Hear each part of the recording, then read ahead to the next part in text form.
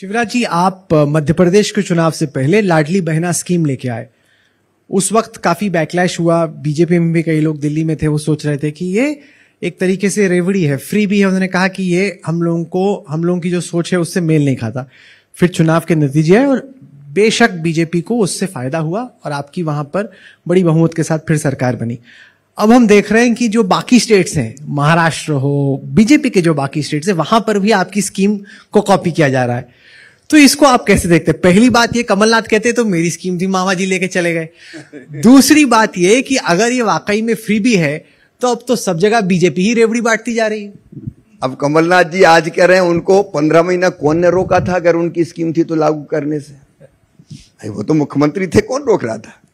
वो तत्काल लागू कर देते।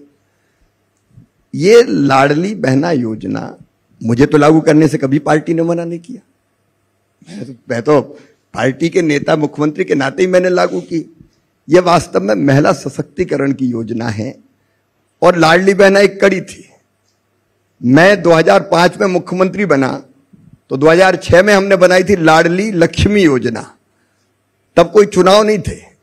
और उसमें यह तय किया था कि क्योंकि सेक्स रेशियो बेटा और बेटी के जन्म की जो दर थी, एक हज़ार बेटों पर 912 बेटियाँ पैदा हो रही थी मध्य प्रदेश में। बेटा और बेटी में भेद किया जाता था, मन में तकलीफ़ होती थी। तो मुझे लगा कि केवल भाषण देने से काम नहीं चलेगा। कोई ऐसी योजना है कि जिसमें बेटी का जन्म सौभाग्य माना जाए। तो मन में एक भाव आया कि यार बेटी अगर लखपति पैदा हो तो माँ बाप बेटी को पैदा होने से रोकेंगे नहीं, कोख में नहीं मारेंगे। मैं सबकी बात नहीं कर रहा, लेकिन लेकिन एक बड़ी पॉपुलेशन का सोचता कि बेटी मतलब आफत है बेटा बुढ़ापे की लाठी का सहारा है। तो हम लाडली लक्ष्मी योजना लेके आए कि बेटी अगर पैदा होगी तो पढ़ाई में पैसा मिलता जाएगा, पांचवी पास करके छठवीं में दो हज़ार, फिर चार हज़ार आठवीं में, फिर बारह छह हज़ार ग्यारहवीं में, छह हज़ार बारहवीं में, मैं पूरे डिटेल में नहीं जा रहा उसके, और बड़ी होगी तो एक लाख रुपया। तो लाडली लक्ष्मी योजना बनी। उसके कारण सेक्स रेशियो बदल गया। मध्य प्रदेश में आज मुझे कहते हुए गर्व है नौ सौ बारह के बजाय नौ सौ छप्पन बेटियाँ पैदा हो रही है। केवल वो योजना नहीं थी।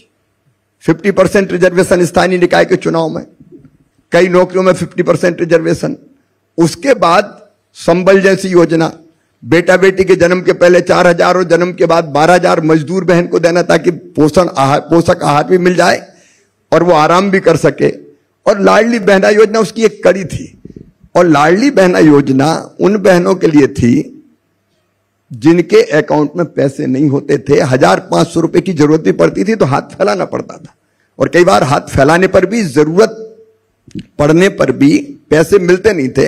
तब मन में आया कि महिला सशक्तिकरण के लिए आर्थिक सशक्तिकरण ज़रूरी, इसलिए लाडली बहना योजना बनी। आज मुझे संतोष है कि केवल मध्य प्रदेश नहीं, कई राज्य लाडली बहना योजना को अलग अलग नामों से नाम अपने अपने कहीं मेहतारी वंदन योजना है तो कहीं लाड़की बहना योजना है तो कहीं कोई और नाम झारखंड ने भी लागू कर दी। यहाँ तो केजरीवाल साहब ने भी कहा कि हम भी दे, देंगे दिल्ली में। अब वो बाहर नहीं है ये अलग बात है।